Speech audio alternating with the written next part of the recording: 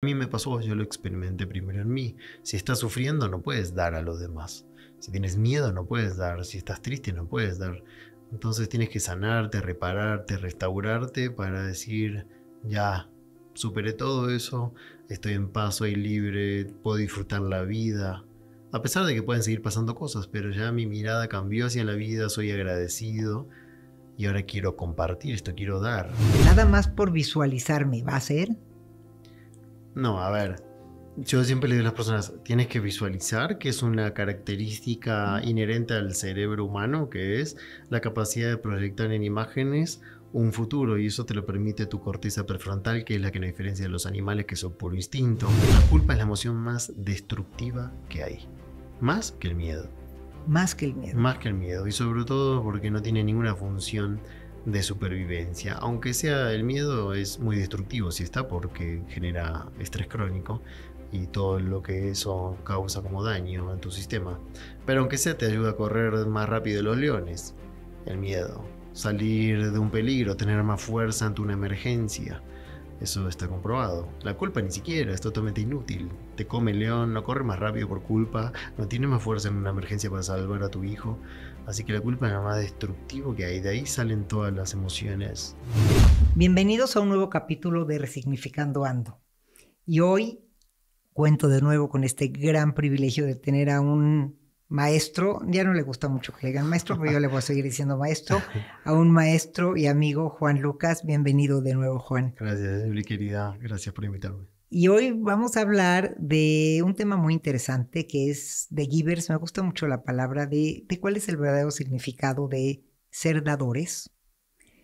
¿Y qué más vamos a platicar en este capítulo, Juan? Bueno, los temas que podemos ir sanando para poder tener cada vez más energía para poder dar. Ok, y me parece que si nos da tiempo vamos a tocar un poco este gran tema de Juan, que fue como, no voy a decir como él inició, pero sí un poco como yo lo conocí, de aprendernos a enseñar a visualizar lo que queremos y qué pasa con este mito de que solo visualizo ya o qué tengo que hacer para que las cosas sucedan. Sí, visualización más acción. Ok, pues con eso empezamos y denle like, activen la campanita y suscríbanse a este canal. Juan, ¿dónde te encuentra la gente? juanlucamartin.com, la página web. Ahí está toda la información de los cursos. En Instagram, Juan Lucas Martín Oficial. Bueno, pues ya saben dónde encontrar a Juan, así que empezamos. Gracias. Gracias. Resignificando Ando, un espacio de crecimiento para conocer expertos y grandes historias de vida. Es tu momento de transformarte y conectar contigo. Recuerda, no eres lo que te pasa, sino lo que haces con lo que te pasa. Y con el gusto de tener de nuevo aquí en un nuevo episodio a Juan Lucas, súper bienvenido. Me gustaría mucho que habláramos hoy sobre este tema de The Givers. ¿De dónde me sale la idea de, de invitarte a platicar de este tema? Porque yo te estoy muy agradecida que me invitaste a tomar el curso cuando lo diste la primera vez. Y para mí fue muy significativo. El concepto se me hizo novedoso. Aún siendo una terapeuta ya más grande, mayorcita, como dicen, y ya tener muchos años trabajando, me gustó mucho el concepto. Entonces, y creo que es un concepto a mí me parece novedoso del que no se habla mucho. ¿Qué, qué es ser un giver en la vida? Te pregunto, Juan, vamos a empezar por esta pregunta. Es un programa de seis meses online, es el más completo que he creado por ahora. Me llevó toda la vida crear ese programa. Son 27 clases, son seis meses seguidos de práctica, porque mm, he visto como terapeuta y luego como conferencista y estando siempre cerca de la gente, que siempre eran los mismos temas que se repetían en el sufrimiento humano.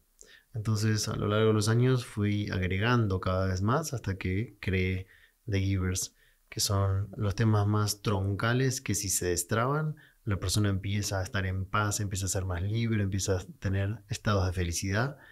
Y cuando logras eso, quieres dar. Porque a mí me pasó, yo lo experimenté primero en mí. Si estás sufriendo, no puedes dar a los demás. Si tienes miedo, no puedes dar. Si estás triste, no puedes dar.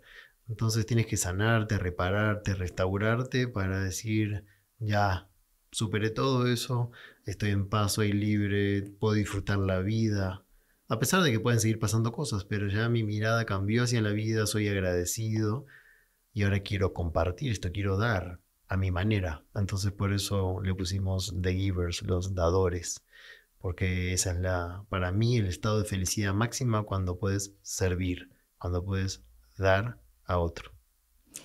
Y cuando tú, cuando te escucho ahorita, pienso, tiene uno que estar tan en paz, tan en armonía, tan equilibrado, tan bien trabajado para dar. De pronto hay una lógica que me dice que sí, pero de pronto me suena a que es demasiado.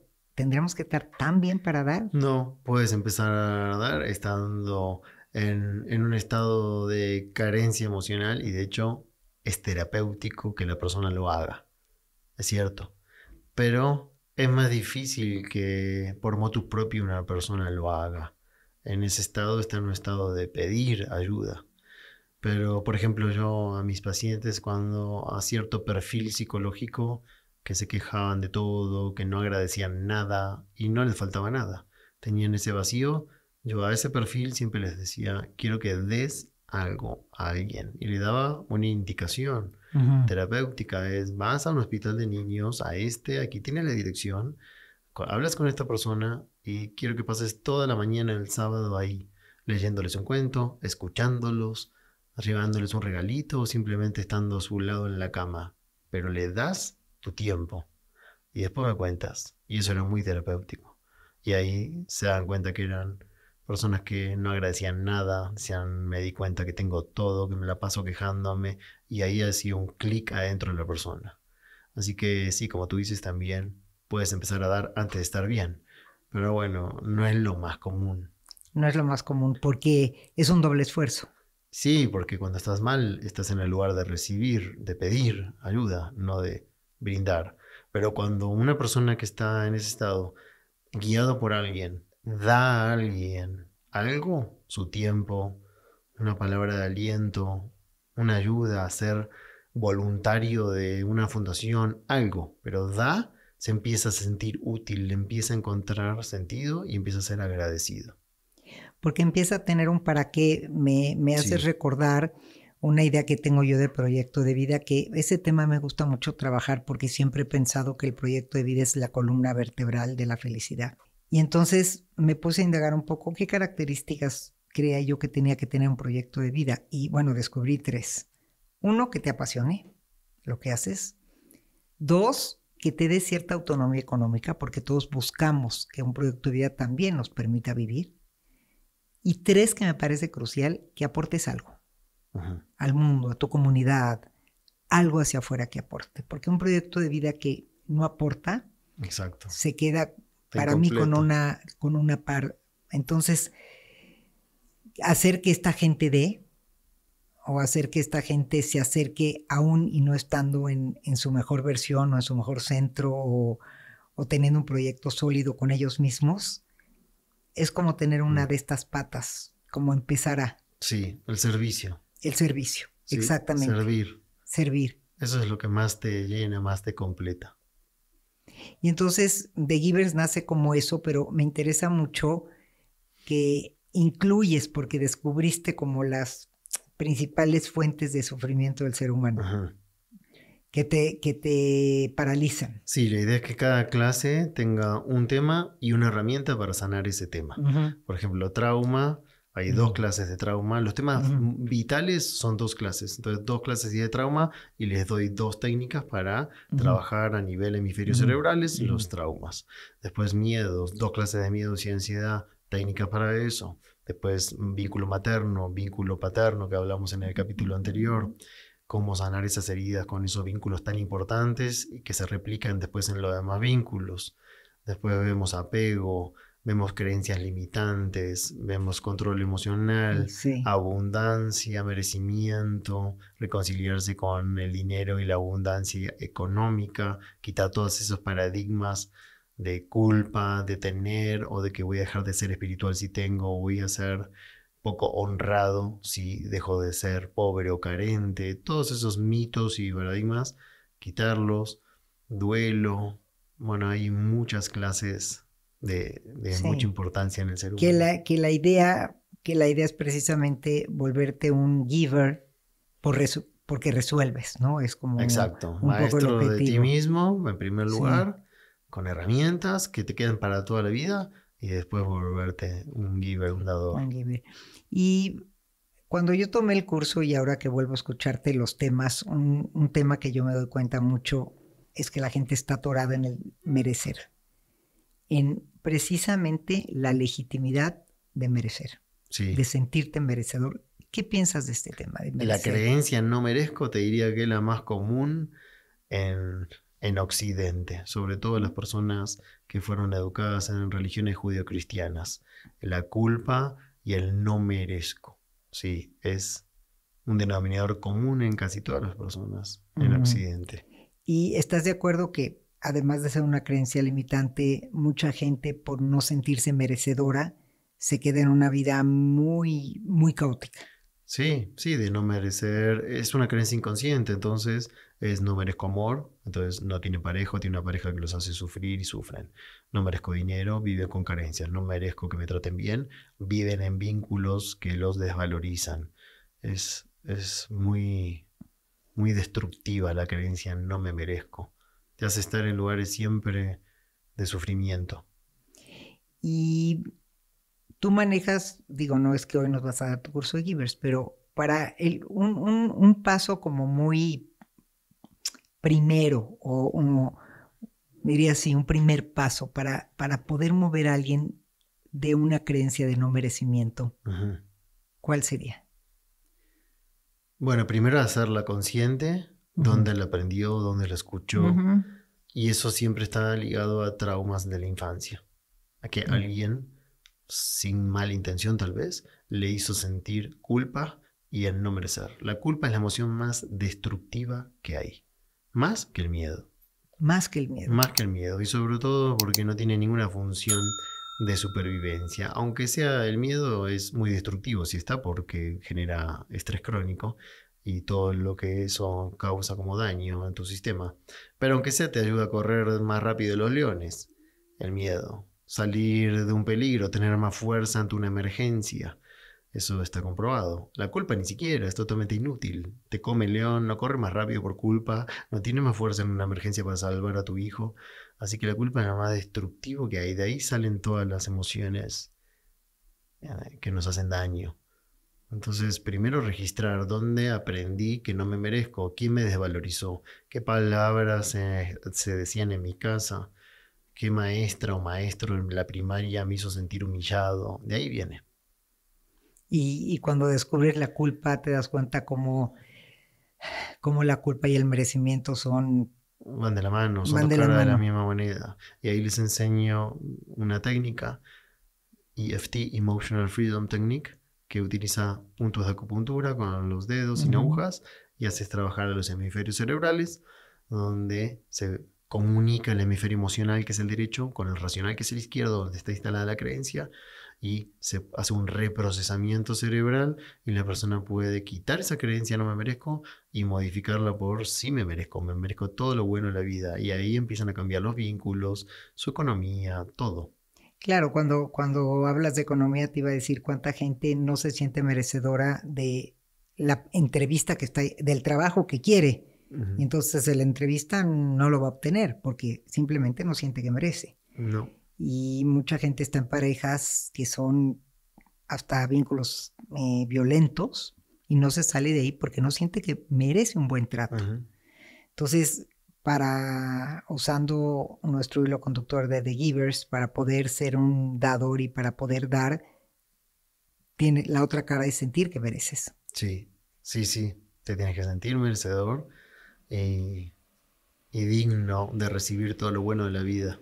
Y cuando tú creas este concepto de The Givers, que tiene que ver con esta gran virtud, cualidad, este, porque también es una emoción, me parece, de dar. Tú partes del paradigma o de la idea de que una persona que se sana y sana esos vínculos con tu historia y sana todas estas cosas que menciona, puede ser un, puede ser un dador realmente. Sí, sí. Sí, de hecho lo, lo experimentamos porque cuando terminan las personas nos cuentan, les pedimos sus testimonios y nos cuentan la transformación que hicieron y te dicen, yo antes estaba solo enfocado en mí y ahora soy una persona que puedo compartir mi felicidad y la gente me ve y me pregunta qué hiciste, estás radiante. Así que sí, vemos cómo inspiran a otros los que han hecho su transformación. Y esta palabra givers, porque es que en inglés me gusta más cómo suena. Sí. ¿Cómo, llega a ti, Juan? ¿Cómo, te inspiras en esta palabra? Que me, que me da mucha curiosidad. Mira, fueron muchos años de, de transformación personal. De niño, mi madre y mi padre siempre me enseñaron a servir. Mi padre médico, con vocación verdadera de médico, mi madre psicóloga, terapeuta de familia, que fue una gran maestra para mí.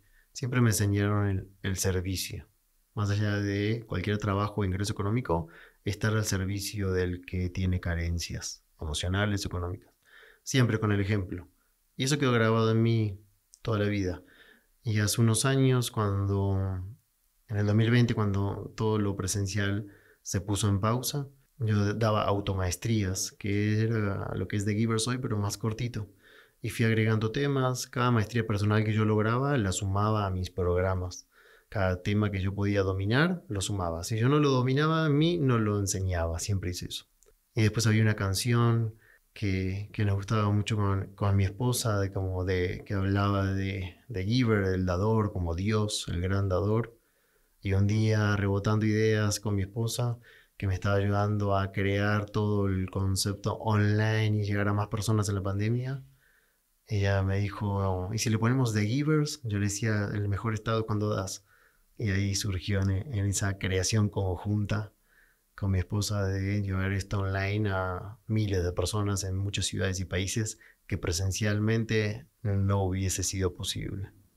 Entonces hiciste esto también en la pandemia de, de aprovechar esta coyuntura de la vida o esta, esta crisis en una oportunidad de generar algo que más gente se pueda beneficiar de volverse dador, porque se sana. Sí, sí, como la pandemia fue un quiebre y fue una crisis muy grande para muchas personas, Ahí sintieron, bueno, la finitud de la vida, vieron de cerca eh, que todo tiene un fin en este plano y empezó la gente a abrirse mucho. Fue un gran acelerador a nivel de búsqueda, de desarrollo interior y espiritualidad.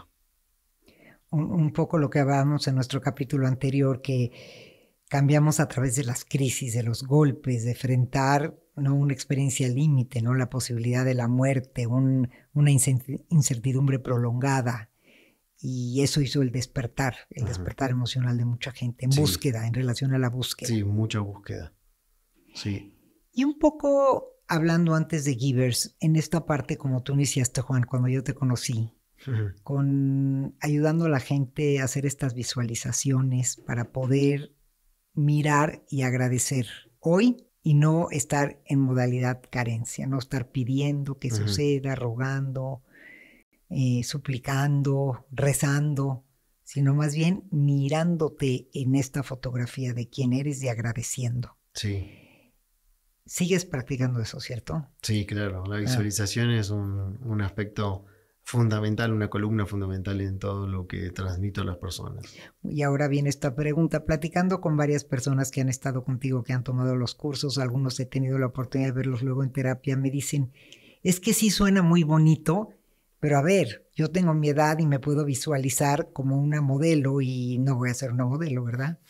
Entonces, me gustaría desmistificar esta idea porque a mí me gusta mucho, la aplico en mis meditaciones pero mucha gente está confundida con eso.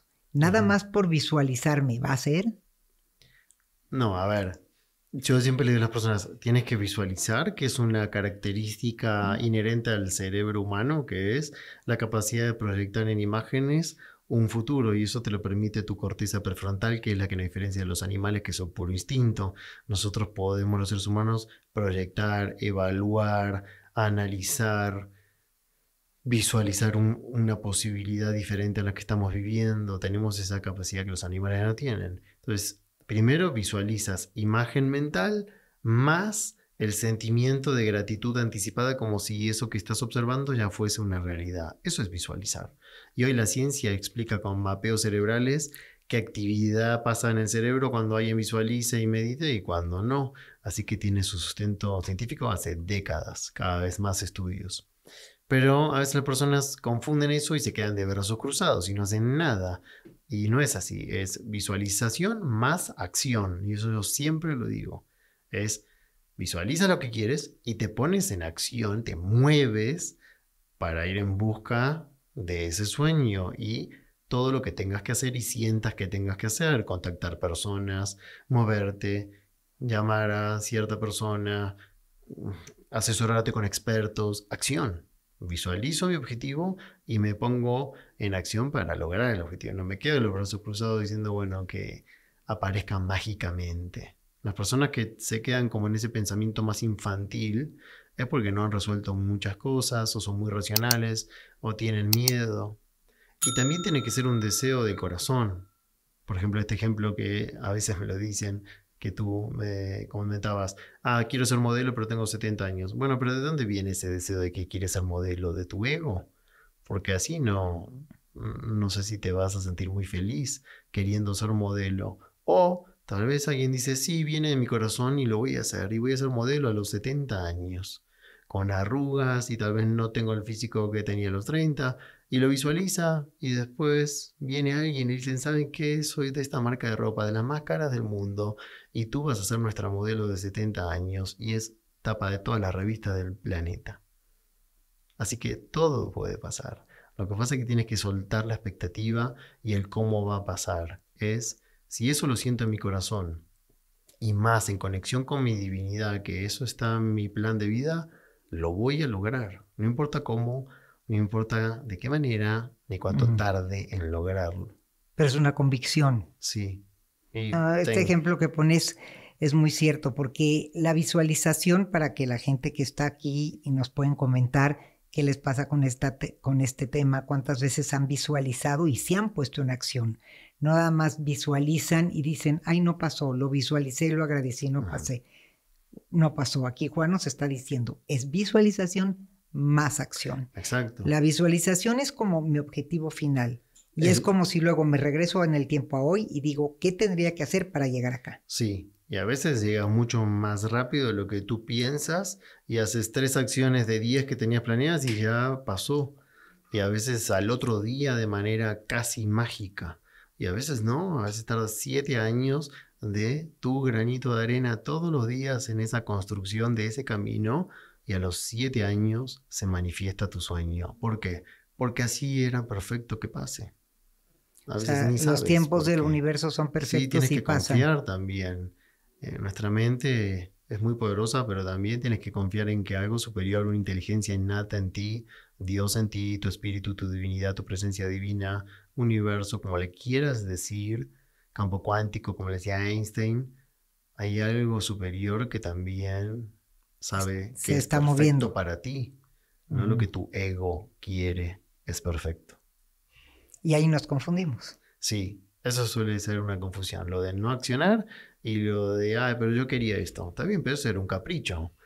Tal vez no era lo perfecto para tu vida y después te das cuenta. ¿Y cuál será la señal que no era lo perfecto para que deje de seguir en modalidad frustración y agradeciendo algo desde un lugar de ego? ¿qué señal tendría yo que escuchar para moverme de esa visualización? Te das cuenta, si escuchas, estás conectado con tu corazón, te das cuenta de todavía no pasó, pero tengo que seguir insistiendo, o pasa algo, otra cosa que tú dices, ah, con razón no pasó eso, porque eso no era perfecto para mí, y esto sí. Y ahí aprendes a soltar el control y también tener más fe, que es certeza de lo invisible. Me gusta mucho esta definición. Juan, ¿la podría repetir? Fe es... Fe, certeza del invisible, es creer en lo que no ves, porque no puedes controlar todo, no puedes ver todo lo que va a pasar. Y sin embargo, sigues creyendo. Sí, por supuesto. Y esto es complementario también con las oraciones, con el rezar, con todas las religiones. No es diferente. Tú puedes hacer tus rezos, tus oraciones de la religión, espiritualidad que hagas y le sumas la visualización y eso va a potenciarlo. No es que es o eres religioso o visualizas. No, hay mucha gente, hay muchos prejuicios de eso, muchos prejuicios. En realidad no es encontrar una espiritualidad no religiosa, sino es encontrar una espiritualidad y la religión es un tipo de espiritualidad. Sí, claro, por supuesto. También puedes integrar cosas a tu religión y no hay ningún problema. Yo le enseñé a monjas católicas de clausura, a sacerdotes, esto y me dicen, potenció mi conexión con Dios, con Jesús. No hay ningún problema. De hecho, todos los maestros meditaban. Oración contemplativa es una meditación. Estar en silencio escuchando a tu divinidad. Justamente eh, hoy hablaba de cómo, cómo, cómo adherir a tu vida pequeños, pequeños hábitos, ¿no? Y me parece que la neurociencia y, como tú dices, la ciencia en sí, cada vez nos hace más conscientes de la importancia de la meditación, como cada quien la puede hacer. Pero necesitamos tener espacios de silencio en nuestra vida. Incluso para poder visualizar lo que quiero, necesito... ¿Cómo distingo lo que quiero si no puedo estar en paz conmigo? Sí, hay que frenar, hay que frenar y que decanten los pensamientos y todo lo vertiginoso de día a día, redes sociales, dispositivos, todos los estímulos que tenemos, es necesario apagar ese ritmo, aunque sea un rato a la mañana, un rato a la noche. Fíjate que, que escuchándote con The Givers y escuchándote con esto, me pongo a pensar, ¿qué pasa cuando una persona, y porque me ha sucedido en consulta, no puede visualizar algo que quiere y no puede visualizar qué proyecto de vida quiere. Y cuando le preguntas qué te apasiona, qué te gusta, bueno, qué quisieras, te dice, es que ese es mi problema, no sé. Sí, hay muchas personas que no saben lo que quieren. Pero a través de la contemplación, la visualización, ahí pueden empezar a ser conscientes para qué, un rol a desempeñar como una pequeña señal. En el silencio interior puedes descubrir eso. Mientras estás eh, distraído con estímulos es muy difícil. Pero sí, hay personas que te dicen, no sé qué quiero. Sí, está bien. Descúbrelo. No sé qué me gusta, ¿no? La siguiente pregunta, ¿qué te apasiona? No sé. Bien. ¿Qué te gusta? No sé. Está bien, es válido, pero descúbrelo, ponte en acción para descubrir qué te gusta hacer. ¿Y cómo hago? Y yo a veces le digo, cierra los ojos, apaga los pensamientos poco a poco con la respiración y va, conéctate con tu corazón y al principio vas a pensar muchísimo, va a ser una tormenta de pensamientos, el segundo día un poco mejor, el tercero un poco mejor y un día tal vez en silencio sientes en tu corazón, voy a hacer esto. Es una inspiración, un momento de inspiración divina o espiritual, o como lo quieras llamar, coherencia cardíaca, como le dice Greg Raiden y toda la escuela del instituto que es muy serio, HeartMath, en la matemática del corazón de Estados Unidos. En pocos minutos logras coherencia cardíaca con respiración y ahí a veces tienes una intuición. Y, lo mismo sucede en, cuando quieres hacer como un proyecto, como ser un giver, como dar algo hacia afuera. A ver, ya tengo lo que quiero en mi proyecto, pero ahora quiero aportar, quiero dar algo y no sé por dónde empezar ese mismo silencio puede ayudar. Sí, exacto. A muchas personas se les ocurren ideas de cómo servir al prójimo en ese silencio, en esa meditación contemplativa. Y nosotros también les facilitamos fundaciones o cosas, ideas. Pero también la idea es que cada uno cree su propio proceso de servir. De servir y de dar, ¿cierto? Sí. Y bueno, Juan, contigo podría hablar horas, pero bueno, para, para toda esta gente que nos está escuchando hasta el final de este episodio y hablamos de esta gran misión, vocación, emoción, porque creo que puede venir desde muchos lados de lo que es ser un dador, ser un giver, y de las cosas que hay que también que resolver en la vida, ¿no? Que son los capítulos de tu curso. Lo digo así no porque, sino porque son pasos también en la vida. Sí. No solo es un curso, son pasos en la vida con los que tenemos que trabajar nosotros mismos para poder estar en ese lugar. Sí. Y esta parte de la visualización que me parece tan importante, yo creo que todos tenemos que aprender a hacerlo. Yo lo he hecho. Cuando no me ha salido, porque me ha pasado, he llegado a esa conclusión. Tal vez no era eso y ha pasado otra cosa. Exacto. Entonces, hay que tener esperanza, hay que tener fe, pero también hay que hacer. Y la claridad de, de, qué visualizo, ¿no? ¿Qué, qué imagen es la que veo para ver a dónde, cómo llego ahí. ¿Y qué mensaje podríamos hemos hablado de tantos temas que me parecen muy profundos, muy interesantes. ¿Qué mensaje podríamos dejar para cerrar este episodio? Bueno, hablando de esto de ser dador en la vida, que se animen las personas a, dar, a empezar a aportar algo. Puede ser algún detalle pequeño que le cambias la, el día a alguien. Un reconocimiento, una palabra de aliento, un reconocimiento de una actitud positiva que tuvo alguien, hasta un desconocido. Regalarle una palabra de cariño, de entusiasmo, de esperanza. Eso te, le cambias la vida al otro, el día al otro, y si lo haces todos los días te empieza a cambiar la vida a ti. Que prueben, que empiecen a dar algo, lo que tengan a su alcance. No hace falta poner. Porque es de ida y vuelta, ¿cierto? Sí. Cuando, cuando tú das, recibes. La abundancia está en el dar. Qué bonito. Pues nos quedamos con este mensaje, que la abundancia está en el dar. Y para todos los que están aquí, Juan, que quieren saber de ti, dónde te pueden encontrar, pienso que la mayoría te van a conocer, pero siempre hay gente nueva. Por supuesto. ¿Y dónde te pueden encontrar? Ahí los esperamos en juanlucasmartin.com, que es la web donde están todos los cursos y retiros, y el Instagram Juan Lucas Martín Oficial. Bueno, pues ya saben dónde encontrar a Juan y denle like, activen la campanita y suscríbanse a este canal de Resignificando Ando para que puedan tener un nuevo capítulo cada jueves y coméntenos qué visualizan, qué piensan de esto de dar, qué acciones, qué acciones hacen ustedes para dar y qué han recibido a cambio o no. Porque la vida a veces es eso, como dice Juan, ¿no? Abundancia y dar esa abundancia. Gracias, gracias Juan. A ti. Muchas gracias.